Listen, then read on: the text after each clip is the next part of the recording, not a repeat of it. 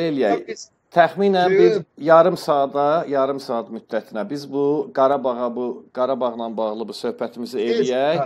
Hə, bu günlük sonra yekunlaşdıraq. Sabah Allah qoysa günorta yenə davam eləyək qalan məsələlərlə bağlı. Deməli, bax belə oldu ki, biz ora getdik. E, hər üçümüzü bölüşdük. Onları e, tərtərə, e, Bərdiyə, mən isə Ağdama. Bəli. Nə baş vardı? Mən ora getməmişdim ki. Azərbaycan səngərində dayanan Azərbaycan əskər, general və zabiti ilə dalaşam, yaxa, yaxalaşmaya çıxam. Mən ora getməmişdim ki, mən özümün döyüş yoldaşım olan e, e, Ağdamın e, polis rəisi Tofiqlə yaxalaşan bir-birimizə hörmətsizlik eləyək. Mən ora getməmişdim öz elimin, ovamın cəmaatına hörmətsizlik eləyəm. Bərdə cəmaatı da, Tərtər cəmaatı da, Ağdam cəmaatı da, o rayonların, o cümlədən Ağcabədinin də, o rayonların əhalisi də bütün inzibati strukturları da hamısı məni tanıyır. Böyük əksəriyyəti mənim keçmiş iş yoldaşlarım olub. Heç dünya dağla onlar mənə qarşı hörmətsiz hərəkətlər etməzdilər və mən də o qədər ağlımı itirməmişəm ki, məni hörmətsiz. Yurduna qayıdan şəxs öz dövlətinə, öz dövlətinin vətəndaşına qarşı niyə e, sərt mövqe tutmalıdır ki? Bax bu baxımdan dedim, mən də tək idim də, tək adamı nə var ki, qaytarmağa sənə qurban olum. Doğru. O boy əşyarla mən nə edə bilərdim? Gələn kimi də heç paltarımı da dəy etməmişdim.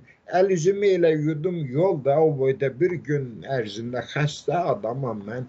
Beyin xəstəliydi. Bu zarafat gəlməsin sizdə. Tük kimi orada liflərdir ki, onları bir zülmlə, dərba dərmanla, lazerlə calaşdırıblar ki, yenə yaşayır, yaşasın.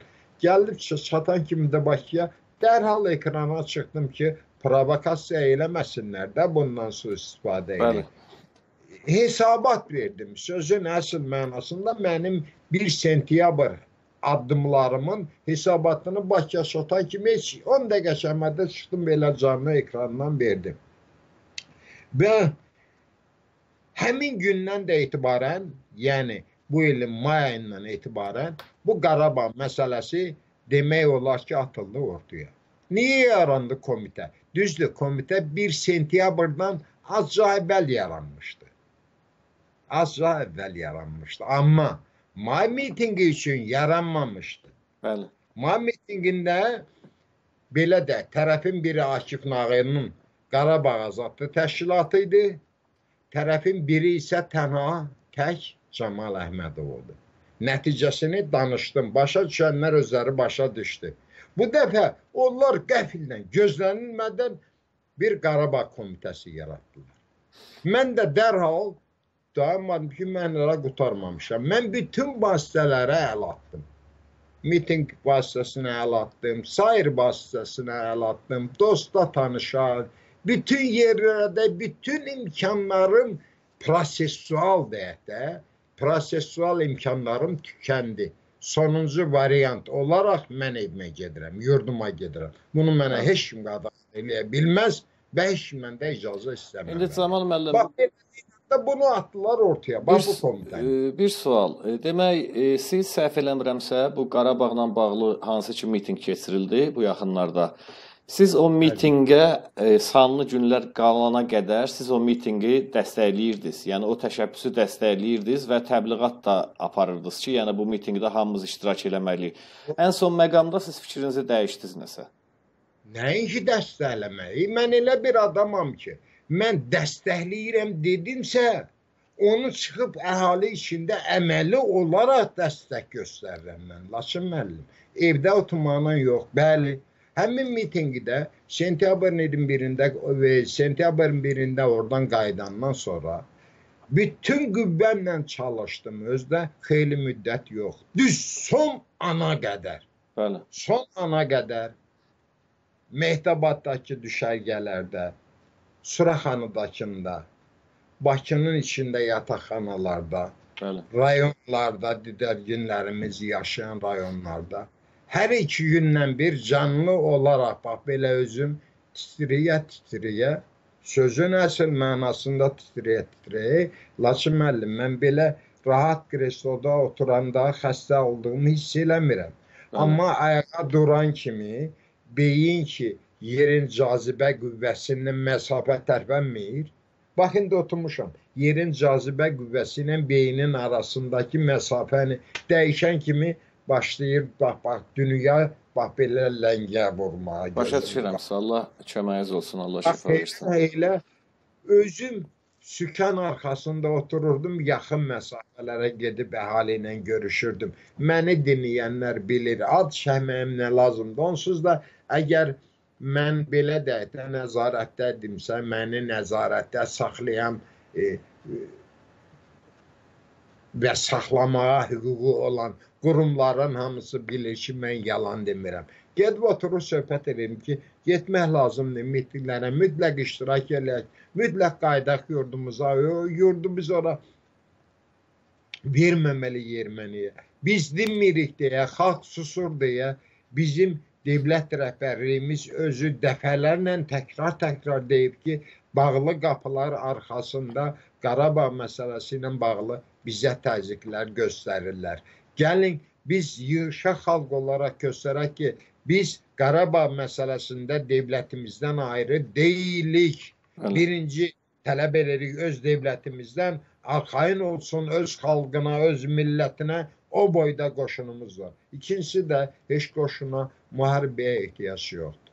Ehtiyac yoxdur. Niyə insanlar qırılmalıdır? Sasis hesabsız. Biz milyon yarım Qarabağlıyıq. Əvvəl oradan köçkün düşəndə o qədər sayda deyildi. Milyona yaxın saydaydıq. 30 il ərzində nə qədər Qarabağlı ailəsi artıb böyüyüb. Milyon yarım insan əliyalın müxtəlif istiqamətlərdən yurdumuza qaydaq. Dünya da görsün qay qardaş, əliyalın insanlar qayıdır öz haqqı olan torpağına onları kütləvi surətdə güllələməkmi olar? Ay Laçın müəllim, nə danışırsınız? Biz hansı planetdə yaşayırıq, hansı ölkədə yaşayırıq, hansı əsrdə yaşayırıq? Güllələmək olar, məsələn, belə də müharibə gedirsə baş yaşayır, amma mən elə yalan gedirəm. Mən elə yalan dinç, bu yaşda xəstə adamam, kim mənə güllə atar? Qoy mənə güllə atanı, bax bu beynəlxalq təşkilatlar yığışsın o Sangərin e, sərhədinə, görsünlər kim atır məni. Əliyalın gedirəm demişkən bir dənə də sual, siz bunu bir neçə dəfə dəfələrlə təkrarlamısınız ki, e, sizə e, Qurban Məmmədov təklif elədi ki, e, ali təhsilli məşhur hüquqşünas ki, siz ağ bayraq qaldırıb ağ bayraqla getməlisiniz. Laçın müəllim gəl çalışaq. Qurbanın hüquqi məsləhətləri mənim yadıma salma. Gülmək yox, söhbət ondan taşa... gedir ki, yox, söhbət ondan gedir ki, yəni mən özüm də şəxsən o adam haqqında danışmaq istəmirəm. Amma e, hadisələrin e, cərəyan eləməsində bu adam, bu e, bu siz də demisiniz bu ifadəni, mən də bu çömçə qarışdırır. Bəli, demişəm mən, sözümdən yəni, də geri çək. Yəni bu bu qazan qaynayıb, çömçə də işə düşüb hüquqi məsləhət qurbanla ikimizin aramızda xəlbət olmuyor ki, danaq. Nə qurban dana bilər, nə mən. Düzdür, qurbanın o kinoteatrın bağışda üzr istəyirəm. Kinoteatr Mikhailo partlatdı. Bəli. Mən biraz kolxoz adamıyam, besab adam. Adıra bilmirəm. Mən deyirik də belə ekranda danışmalıyım. İnternet televiziyası. O kinoteatrın 2-3 dəfə ləğv elədilər, arxiv bitdi. Amma onu yığıb saxlayan oğlanlar var. Bəli. Həmin danışığımız bu deyim məndə bu qurbanım dialoqum.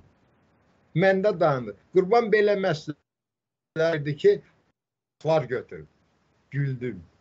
Yəni Ağ bayraqlar götürün gedin. Qoyun arxadan özümüzünkülər, özümüzünkülər sizi səni söysün ki, varın yoxun belə-belə. Binamus Qarabağlı köpək uşağı. Ağ bayraq götürdü, getdi Erməniyə təslim oldu. Mən öz torpağıma hə. gedirəm. Nəyə görə ağ bayraq götürməliyəm? Bunu yəni mənim ağlım kəsmirdi. İkincisi, mən o dəqiqə ağzına vurdum ki, ağ bayraq onda e, BMT'nin bayrağı. BMT'nin bayrağı. Böyle. Hiç o da olmaz. Bəli, hər hansı bir beynəlxalq qurumun iş e, znaklarından qanunsuz istifadə eləməyə cinayət Cinayət tərkibi yaradır. tərkibi yaradır. Doğrudur.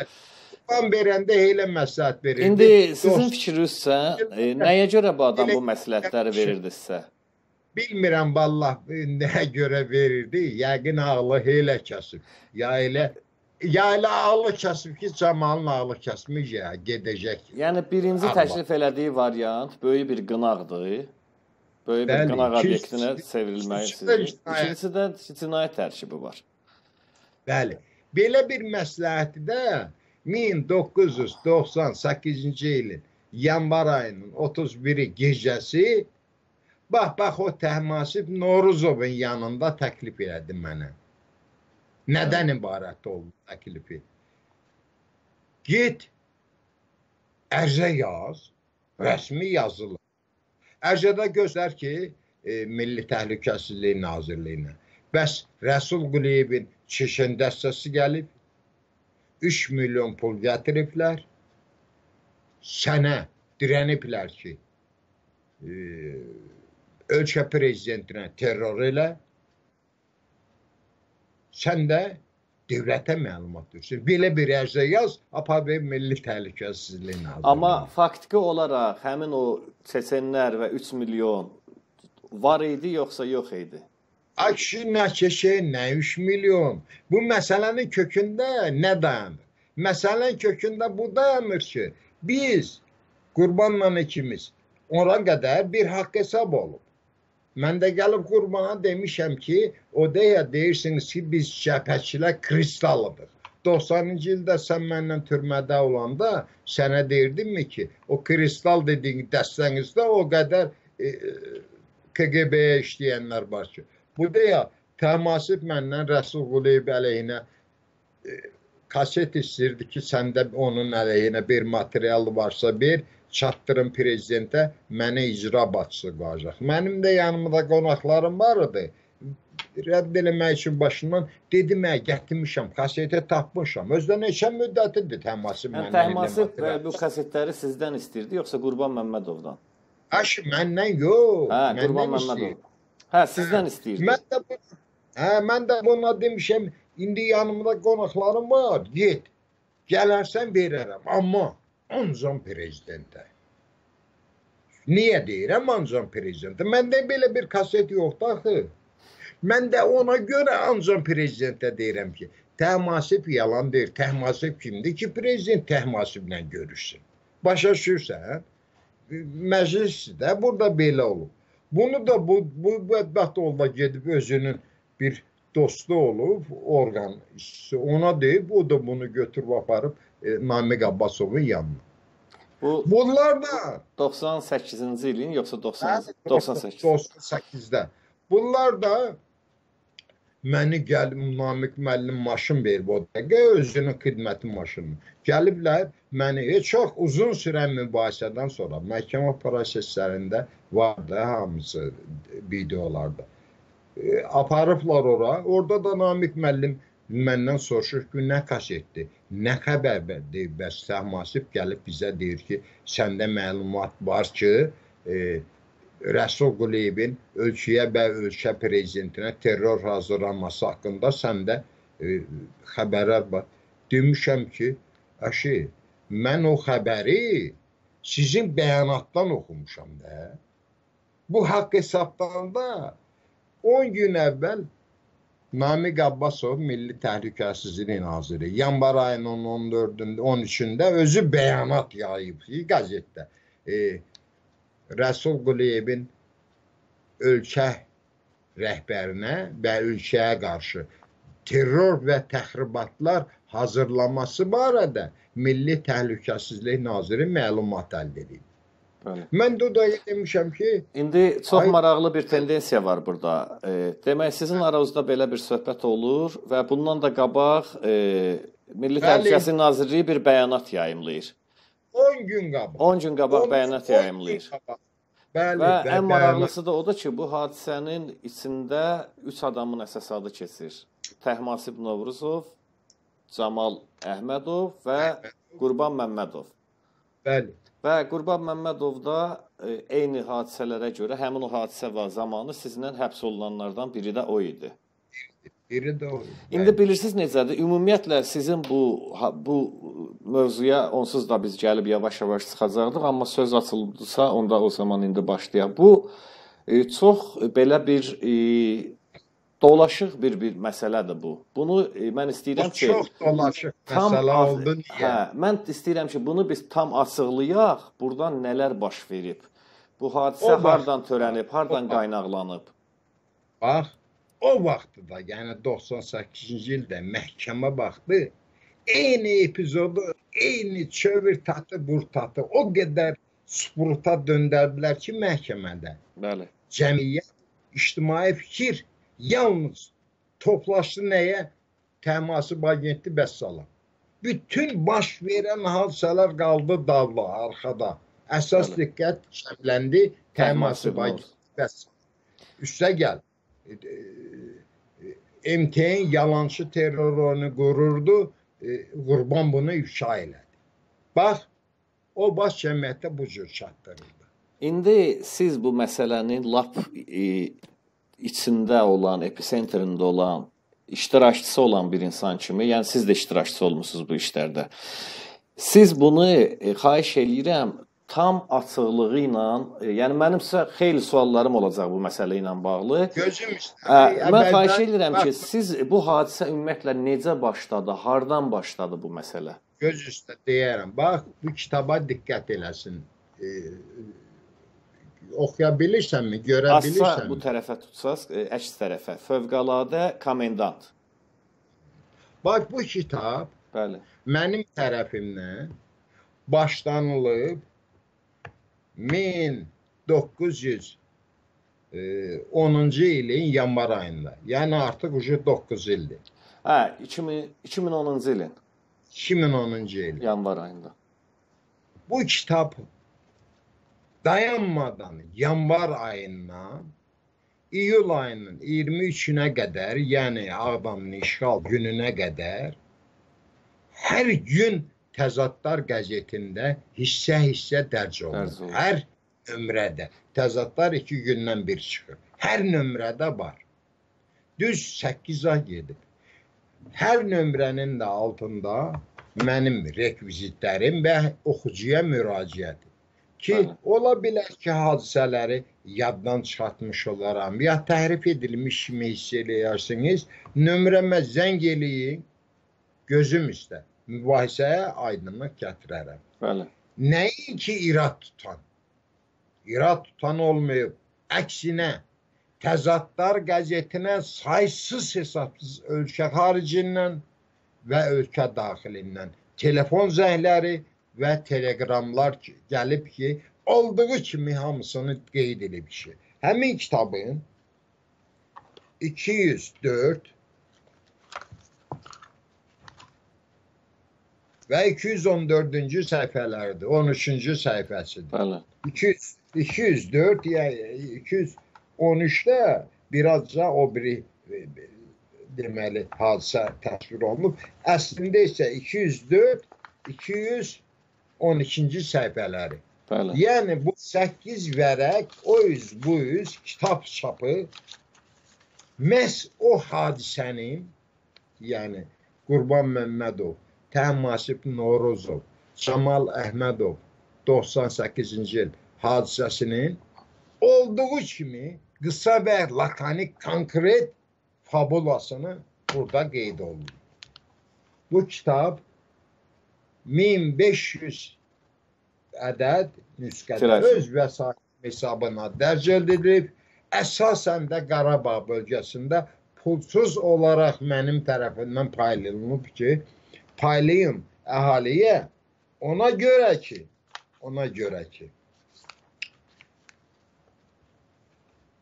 biz tarixi gələcək üçün yazırıq.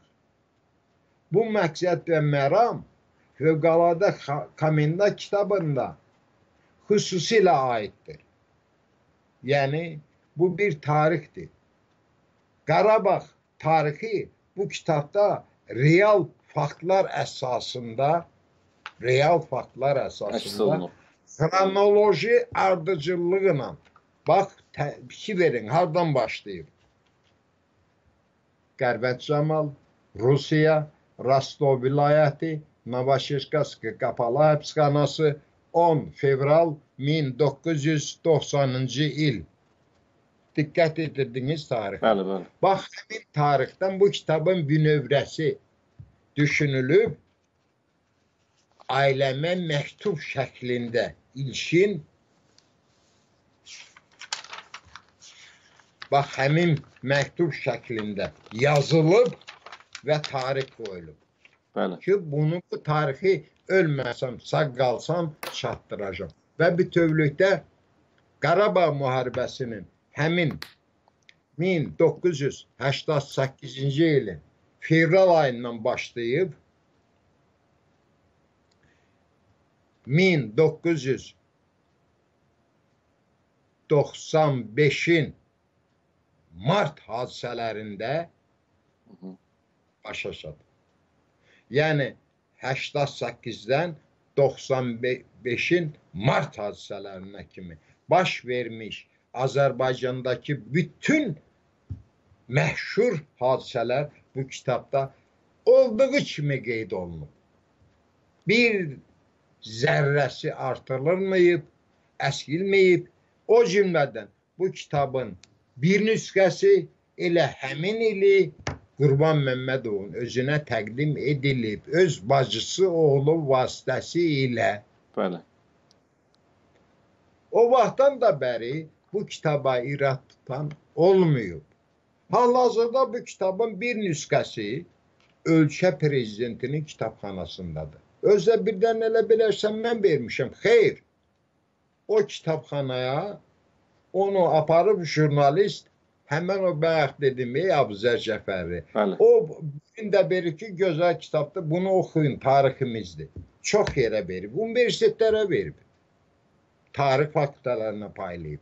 Ki, Qarabağ tarixinin, yəni o Qarabağ, birinci Qarabağ müharibəsi tarixinin necə başlaması, başlama səbəbləri, qızışdırılması, sonralar bax, bax bu kiməsə yalvarmaq, kiməsə dalaşdırmaq, kiməsə bir-birinə qarşı tələ qurmaqlar, hamısı bu kitabda öz əksini obyektiv olaraq, qərəzsiz olaraq, tərəfsiz olaraq tapır.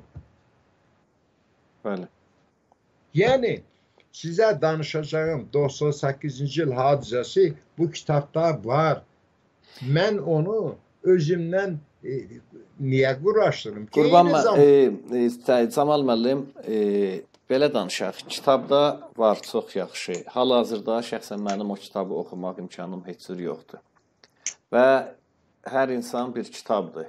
O kitabın ən gözəl nüsxəsi siz özünüzsüz və bu haqqda dəfələrlə danışmısınız. Bəzi məsələləri açıq şəkildə qeyd eləmisiniz. Bəzi məsələləri də e, kodlu mesajlarla vermisiniz. İndi burada bizə əsas vacib lazımdır ki, bu məsələnin haqqında siz özünüz e, şərhlər verəsiniz və sizin verdiyiniz o şərhlərlə bağlı mən sizə qaranlıq qalan məsələlərlə bağlı suallar verəcəm. Orda dediyim kimi orada hə bir neçə e, çox belə müəmmalı məqamlar var. Birincisi, bu hadisə hardan və necə başladı? Bax, sizin bu 1998-ci il 97-ci il daha doğrusu. Bəli. 97-ci ildə mən e, Hürriyyət qəzetinin redaksiyasında Qurbanla görüşdüm. Qurbanla bizim tanışlığımız başlayıb bayaq dedim. 90-cı ildə mən həbs olunanda Bayıl həbsxanasında bir kamerada saxlanmışam. Dustaq yoldaş olmuşum. Bax 98-ci ildə gəldim, görüşdük, xeyli söhbət oradan buradan, nə var, nə yox dedim, sağlıq. Bəs hərbidən deyir, çıxmısan, dedim, hə, qurban.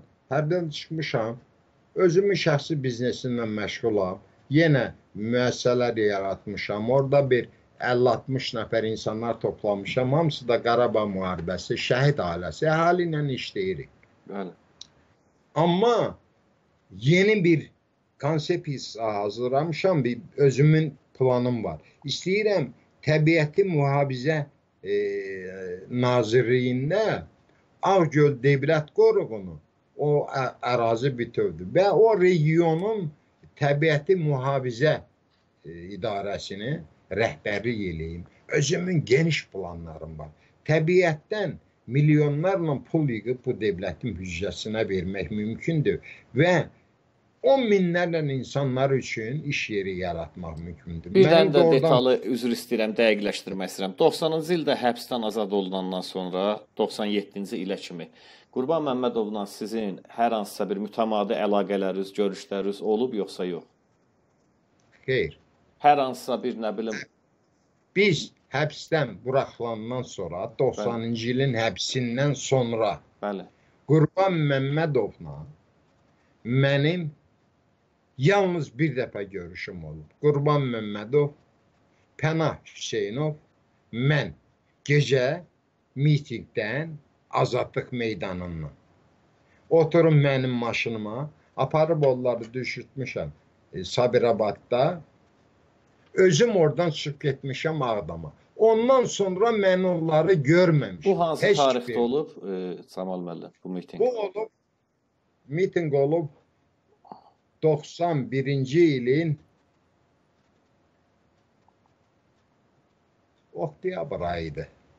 Hələ Onlar vertolyot qəzası həll olmamışdı. yox, yox, yox, vertolyot yox idi. Vertolyot qəzası baş verməmişdi. 90-cı ilin oktyabr ayıydı, dəqiq xatırlayıram. Pənah Hüseyn, mən, Qurban Məmmədov. Özdə həmin mitinqdə təsadüf görüşmüşük. Aydındır. Elə bilməsinlər ki, razılaşıb gəlmişik. Dutsaq yoldaşıq da mən qurbandan bir ay əvvəl, ay yarım əvvəl azadlığa çıxmışdım. Öz azadlığa çıxanda and olsun bizi yaradan mən evimə getmədim. Dustaqxanada da dustaqlara radio qovşağı ilə elan elədim ki, mən getməyəcəm. Gedib oturacam Ali Sabitdə Bəli. sizlər üçün amnistiya qəbuluna nail olub sonra gedəcəm evimə. Elə elə də oldu. Aydındır. Amnistiya İndi sonra get. əsas məsələdən uzaqlaşmayaq. İndi qayıdırıq Buyurun. yenə 97-ci ilə. Sizin Qurban Məmmədovla yenidən 6 ildən sonra görüşünüzə. Bəli, müharibə oldu, baş qarışdı. Qurban Məmmədov bir dəfə müharibə vaxtı gəlib bizə evə, Qərvəndə. Amma mən olmuşam döyüşdə. Bəli. Qurban Məmmədov bizə gəlib. E, indiki deputatımız var, keçmiş Bakı şəhər prokuroru. E, Çingiz Çingiz Gənizadə. Qənizadə. Bəli, Çingiz Qənizadə ilə Qurban Məmmədov Qərbətdə gəliblər bizim evə. Onlar da gəlmişmiş Ağdama döyüşlərlə əlaqəli. Hələ o vaxt döyüşlər elə güclənməmişdi. Bəli. Gəliblər. Evdə də mən olmamışam. Yoldaşım olub. Uşaqlarımız da kiçik idi. Çox balaca idi. Nə qədər eləyib ki, də gəlin də evə e, gəlmiblər ki, yox da bir Camal yoxsa gəlmir. Gedirik rayonda tapıb görüşəcəyik. Bax elə bir hal olub və görüşə bilməmişik. Ondan Aydındır. sonra mən qurbanı bütün o müharibə devrində görməmişəm. Pənah Hüseyni görməmişəm da o görmüşəm Pənah Hüseyni bu iki dəfə müşavirədə o da yaxınlaşıb heç salamlaşmamışıq da. Bəli. Adam müşavirəyə gəlmişdi. Amma telefon əlaqələrim Pənah Hüseynovla da olub, İskəndər Həmidovla da çox olub, prezident Elçibəylə də çox olub. Deməli, baxmaraq ki, mən cəbhəçi deyildim, amma cəbhəçilərin özü də deyirlər ki, mən vicdanla, namusla hara qoysalar xidmət eləyən adam olmuşam. Mən e, sənə deyim ki, gecəm gündüzüm olmuyor mənim müharibə devri. Onlar qurbanı görməmişim. Təmiz ordudan e, deməli 94-cü ilin avqust ayının birində e, tərxis olunandan sonra getmişəm. E, bax o dediyim müəssisələrimi qurmuşam və Bakıya bax o dediyim işdən ötəri ki, nazirlikdə o işi düzəldim. Çünki orada çoxsaylı iş yerləri açmaq mümkün idi. O mənim o layihəm yenə də durur. Bax bu dəqiqədə mənim öz arxivimdə durur o layihəm. Özdə danışılmışdı o iş ki, baş tutası. Mən həbs olunmasaydım Laçın müəllim. Bəli. Bax o dediyim idarələri birləşdirib indi orada nələr yaratmışdım. Mən sözdə deyən ad- adamam. Mərdimazara lənət. Məni tanıyanlar bilir ki, mən iş adamıyam. Mən mənim əllərim açıq olsun. Azad olum. Məni tullasınlar bir quru səhraya ya bir quru çaylağa. Orada insanları ətrafıma toplayıb öz düşüncəmlə mütləq orada bir iş qurub, iş yaradıb həm yaşadığım dövlətə, həm də işlədiyim insanlara e, xeyir verəsə adamam. Demək, Bax elə gəl Zaman müəllim, keçək indi əsas məsələyə. Qurban Məmmədov gəldi, sizlə görüşdü. 97-ci Yox, il. 97-də qurban gəlmədi. Hə, Mən getdim. siz getdiniz Hürriyyət qəzetinə. Bəli, mən Bakıdaydım artıq. Bəli. Deməli gecə idi, gündüz işlərimi qurtarmışdım. O ekoloji naziri indiki o vaxt təbiət mühafizə naziri idi. Bəli. E, şöbə müdiri ilə, kadrlar idarəsinin rəisi ilə görüşmüşdüm. E, Planlarımı demişdim. Hətta hazırlanmışdı. E, Azərbaycanın o vaxtki icra başçısı Fəxrəddin müəllim təqdimatda hazırlamışdı. İstədiyiniz vaxt hazırdır, sürücü ilə göndərərəm Bakıya. Biz sevinərək ki, Camal müəllim belə bir iş Bəli. olsun. Bax, elə götürdüm qurbana, qəzetlər almışdım. Yaxşı yadıma düşdü. Mən əzəldən mətbuata açıq olmuşam, mətbuatla maraqlanan adam olmuşam. Öyle qəzetlərin arasında Hürriyyət qəzeti də vardı. Bəli. Bax, Hürriyyət qəzetinin telefonuna zəng vurmuşam. Qurban istəmişəm. e, Sona xanım adlı xanım calaşdırıb, "Ya da dur gəl hardasan bir xoş beş görüşük." Bax beləliklə durub getmişəm ora qurbanın yanına. Təxminən bir yarım saat çay içib söhbət eləmişik. Demişəm belə-belə e, bəs e, ordudan da tərxis olunmuşam. Kiçik müəssisələrim var. Dəyirman kombinatı deyək də, dəyirman deyək, onun dəyirmanı. O da Hı. şörə sexləri. Xeyli e, Qarabağ əlli, şəhid ailəsi işləyir. Dolanır, cəmaatı da yola verir. Döyüş bölgəsidir. Heç kim aparıb ora investisiya qoymazdı o Bəli. vaxtlar. Amma oradan qaçıb çıxmışdı. Düşmənlə o səngərlə üz-üzə yer idi. Və burada təsadüfən demişəm ki, "A qurban, maşallah, partiyanız da yaman güclü işləyir ha, Azərbaycan Demokrat Partiyası." Deyib ki, hə, görmüsən həmsədrlik institutu bizdə. İlyas müəllimlə Sərdar bəy rəhbərlik eləyir ikisi birlikdə partiya. Demişəm ki, İlyas müəllimə böyük hörmətim var. O kişi güclü, savadlı hüquqşünasdır və ədalətli insandır. Bax buradan başlayıb mənim ADP-yə gəlməyim. Məhz İlyas müəllimin dediyim kimi adına. Deməli, nə olar ki, məsləhətdir. Durmuşuq, ikilikdə qalxmışıq yuxarı kabinetə Sərdar bəylə İlyas bəyin yanına. Sərdar Cəlaloğlu məni onsuz da tanıyırdı. İlyas müəllim qiyabi tanıyırdı mənim o 90-cı il həbslərimdən məni tanıyırdı. İlyas müəllim Moskvada UIT-lər üzrə e, SSR baş prokurorluğunda şöbə rəisi olanda məni o vaxtda tutanda qəsdən göndərmək istəyirdilər, Rusiya etapı eləmək istəyirdilər. İlyas müəllim o etapın qarşısını almışdı. Bəli. Ki nə, nə danışsınız? Mən bütün Azərbaycanlı dutsaqları Rusiya ərazisinə yığıb qaytarıram Azərbaycana. Siz Azərbaycanlını göndərmək istəyirsiniz. Dayandırın bu dəqiqə. Bax elə məni Rusiya etapdan dayandırmışdı. Amma özümü görməyə görməyə, tanımaya tanımaya. Çıxdıq məsləhət belə oldu ki, partiyanın Ağdam rayon şöbəsini təsis eləyim. Eyni zamanda e, partiya sədri İlyas İsmayılovun Qarabağ bölgəsi üzrə xüsusi səlahiyyətli nümayəndəsi olum Bəli. və Qarabağ üzrə müavinlərindən biri olum. Bax bunu razılaşmışıq. Qısa bir zamanda da mən partiyanı təsis eləmişəm Ağdamda.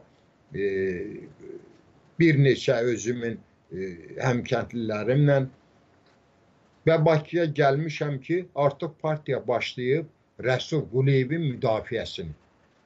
Rəsul Quliyev o vaxt Demokratiyaya gedən yol adlı bir kitab yazmışdı. O kitabda paylayırlar burada Azərbaycanda və e, Rəsul Quliyev haqqında da deməli dövlət Azərbaycan dövləti cinayət işi qaldırıb. Rəsul Quliyevin bir neçə sabiq neft sənayesində, qaz sənayesində işləyən işçilərini həbs eləyib. Rəsul Quliyev haqqında axtarış elan eləyib. Bax belə Bəli. bir momentdə e, Demokrat Partiyası Rəsul Quliyevin müdafiəsinə başlayır. Qəzetlər yazır, Əl-Əxsus Hürriyyət qəzeti güclü müdafiə edir onu və blanklar verdilər mənə ki, Rəsul Quliyevin hüquqlarını müdafiə üçün əhalidən imza toplamaq. Amma e, adam gərək düzünü deyə. Blank mənə veriləndə mənə dedilər ki, bu könüllüdür. Kim istəyər qol çəkər. Bəli. Yəni könüllü əsasında. Bilmirəm 15 dənə idi, neçə dənə idi belə A4 formalı bunlar, bunları da götürmüşəm. Bax bu ərəfədə və bundan da hələ bir il qabaq bizim Təmasib Noruzov, elə mən gələn hər gələndə görüşürdüm onunla. Kəndçi, həmkətliyik. Deyirdi ki, e, o bekar idi. Deyirdi iş verəcək mənə, prezidentlə görüşmüşəm. Heydər Əliyevlə. Bəli, bəli. Prezident mənə iş verəcək. Mən də ürəyimdə görürdüm ki, sən prezidentlə görüşə bilməzsən. İnanmırdım. İnanlası da değildi də. Və mənə dedi ki, Camal, sən Rəsul Quliyev əleyhinə mənə sübutları verə bilsən, canım üçün prezident məni rayonlardan birinə icra başçısı təyin edəcək. Və hətta bir dəfə Laçın müəllim biz oturub çörək yeyəndə təmasiblə mənim otağımda, mehmanxanada. Mən xoşlanmadım restoranda oturmağı. Çağırıb deyirdim yeməyimizi otağa gətirirdilər. Əl altı telefonu götürdü ki, Camal mənim bir dostumuz var. Sənin haqqında o qədər danışmışam ona ki, elə maraqlanır səndən görüşməyi. Qoy zəng elək gəlsin də süfrəçik əl atıb telefonla e, yığsın o dostunu. Bu ev telefonu ilə. Bəli. Mən qoymamışam. Adbo eləmişəm. Bir tane masif. E, ikimiz oturmuşuq. Temoli məclisimizdə içki də var. Nə çağıraq? Deyirsən prezident aparatının əməkdaşıdır. O mənə deyirdi ki, o dostum prezident aparatında işləyir. Bəli. Temboli prezident aparatının əməkdaşıdır. Bir sərbəst vaxt çay süfrəsinə hə olar. Oturarım. Amma bu işlər lazım deyil. Və o mənə dediyim kimi də məşə istəyirdi məndən elə. Və nəhayət qısa bir müddətə gəldi, eşidirsinizmi? Eşidirəm, bəli, bəli. Normal gəlir, dinləyirəm. Müddətə deməli gəldi qəflətən yanvar ayının 13-də, yanvarın 12-sində qəzetlər, mətbuat məlumat verdi ki, Rəsul Quliyev özü prezidentliyə namizədini verəcək. Bu 1998-ci ildən gedir söhbət. Bəli, 8-ci il gedir söhbət. Bəli, payız uje e, olacaq seçkilər. Bəli. Və gəldi Rəsul Quliyev e, deməli Türkiyəyə ki, prezidentlə e, Türkiyədə görüşlər keçirdir Sərdar Cəlaloğlu ilə. Bəli. İl, e, İlyas İsmailovla. Ayın səhv eləmirəmsə 12-sində qəzetlər elə məlumat yayılmışdı. Bəli. Yanvarın 13-də isə bax bu tarixlərə diqqət yetirək. Yanvarın 13-də isə qəflətən Azərbaycan Respublikası Milli Təhlükəsizlik Naziri hı -hı. rəsmi dövlət qəzeti olan Azərbaycan qəzetində bəyanat yaydı. Həmin qəzetdə mənim arxivimdə durur, var və dövlətin e, Axundov adına kitabxanada da tapmaq mümkündür bunu.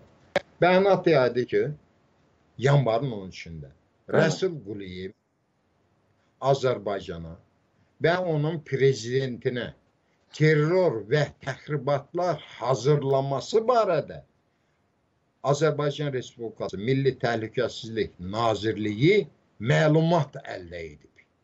Bax belə bir bəyanat çıxdı qəzetdə. Yanvarın 13-də. Bəli.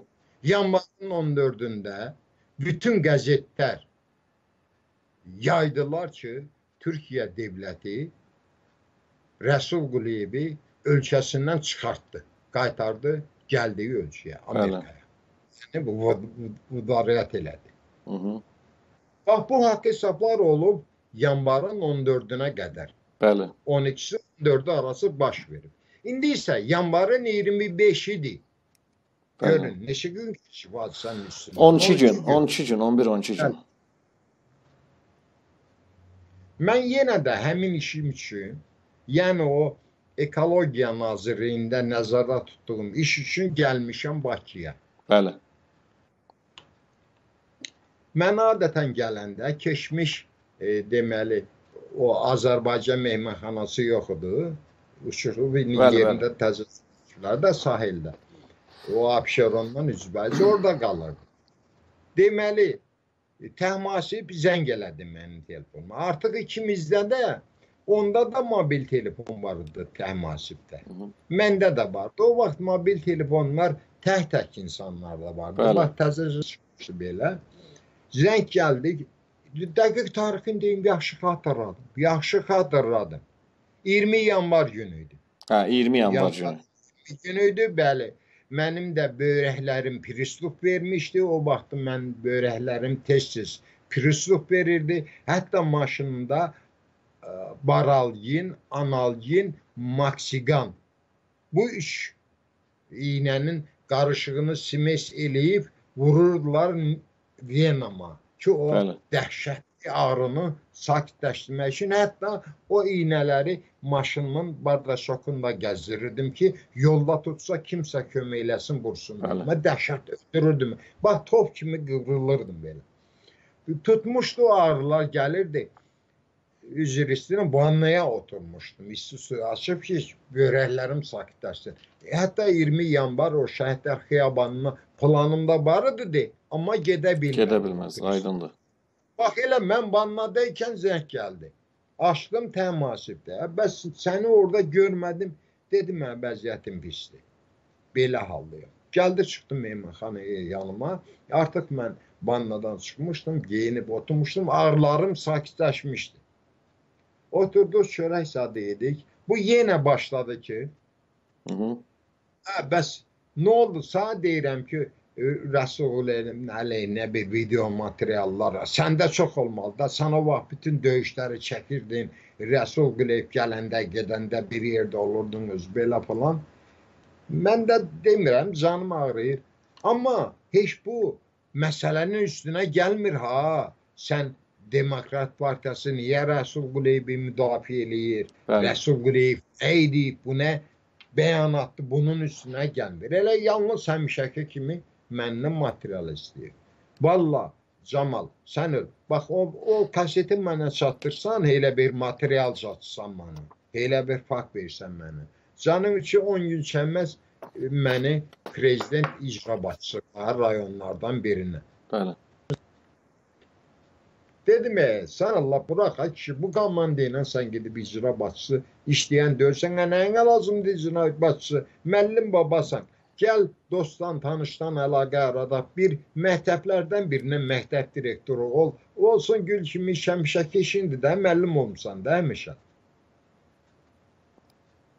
Və beləliklə təması bir yola saldım, getdi. Özüm durdum ki, bu ağrı ilə mən davam gətirə bilməyəcəm. Həm də o ikinci korpusuna düşmüşdü yerim, soyuq idi orada. Durdum oradan çıxdım. Gəldim Bakı mehmanxanasına. Orada bir lüks otaq var. Üç otaqlı otaq, e, deməli nömrə idi. Ora götürdüm. Deməli artıq 2 gündür mən öz işimlə məşğulam. Yəni ayın 22-24-ü yanvarın məşğul olmuşam bu işlərimlə. E, yanvarın 25-i tezdən bizim Ağdam uşaqları e, gəlib e, zəhləşmişik. E, Səhər-səhər çörək yemişik, günorta yeməyinə gəlmişik mənim nömrəmə. Mehmanxanaya. Bəli. Baxmışam ki, təmasib mənim otağımda oturub. Mən olmayanda gəlib, döjün da mənim açarımı alıb, girib mənim otağımdadır. Buna da mənim yanımdakı yoldaşlardan biri, Allah rəhmət eləsin, rəhmətə gedib, Şahin deyirdik, e, Əliyev Şahin. Bəli. E, Tahmasiblə arası yoxdur. Məni həmişə danlayırdı ki, "A, o qədər düz adam deyil, onunla oturur, durmur. Özü təmasibin üzünə də demişdi bir dəfə. Bəli. E, e, sənin jurnalist dostun var, ey Fəxrəddin. Telestudiyada işlədi bir müddət Hacıyev Fəxrəddin Hacıbəyli. E, Almaniyada O, yaşayan Yox, yox. Fəxrəddin Asbəyli. Almaniyada yaşayan yox. Bu ayrı Fəxrəddindir. Bax Fəxrəddinin yanında bir dəfə Fəxrəddinlə həmin Əliyev Şahin də bu Fəxrəddin o sən dediyin o Hacıbəyli Fəxrəddin deyil. Ha. Bu Fəxrəddin Ha, bildim, bildim. hə televiziyada işlədi bir müddət uzun müddət xəbərlər proqramında işlədi. Sonra bizdə Ağdam İcra Hakimiyyətinin işlədi. Sonra Ağdam Dram Teatrının direktoru oldu. Bəli. Bax o Fəxrəddin. Hətta bir dəfə Fəxrəddinlə Şahin e, deməli birlikdədik. Taməsibi möhkəm danladılar. Ki bu nə hərəkətdir? Çıxırsan televizora, gah onun haqqında, gah bunun haqqında e, olan olmazı danışırsan. Yaxşı deyil belə hal. Yığışdı bu hərəkətlərini. E, sonra da mənə Şahin dedi ki, düzünü axtarsan Camal. Mən istəmirəm o sənin yanına gəlsin, getsin. Bəli. Yəni dolayısıyla mənə çatdırırlar ki, düzgün adam deyil, elə hər tərəfə yüyülən adamdır. Nəsə söhbətin mahiyyəti təmasib deyil. Söhbətin mahiyyəti həmin hadisədir. Bax, 25-ində gəldi ki, bu mənim otağımdadır. Şahin də buradadır təslimi. Dəstəmizin içindədir. Tən Şahin deyildi. Şahin idi, Kamil Quliyev idi, Süleymandır. Adını çəkmək istəmirəm. Tanıdığım adamlardan biridir. İndi deputatımızdır. Bəli. Nəysə biz oturmuşuq adamlılar. Fikirləşdim ki, bax o sən Şahin bunu genə gördü burada. Şahin də rəhmətliyin interesin xassiyyəti var. Allah rəhmət eləsin. Allah rəhmət etsin. Bir abırçılıq olacaq burada. Təmas dedi ki, Camal bağışlayı üzr istəyirəm. Da sən yox idin. Gəldim, dejurn dedi yoxsan. Da tanıyırlar da məni. Dedim eybi yox, gözləyərəm. Aşağı götdüm, girdim otağa. Həm də üzümü qırmamışdım. Elə sumkanı açdım, diplomat sumkanı. Üz qırxanından üzümü qırxmışam. O dəqiqə dalağım saçdı. Ki, aya, mənim sumkamda Rəsul Quliyevin müdafiəsi ilə bağlı imza vərəqələrim vardı. Hı.